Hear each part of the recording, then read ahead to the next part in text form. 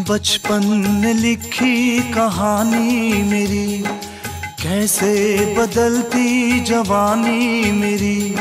सारा समंदर मेरे पास है।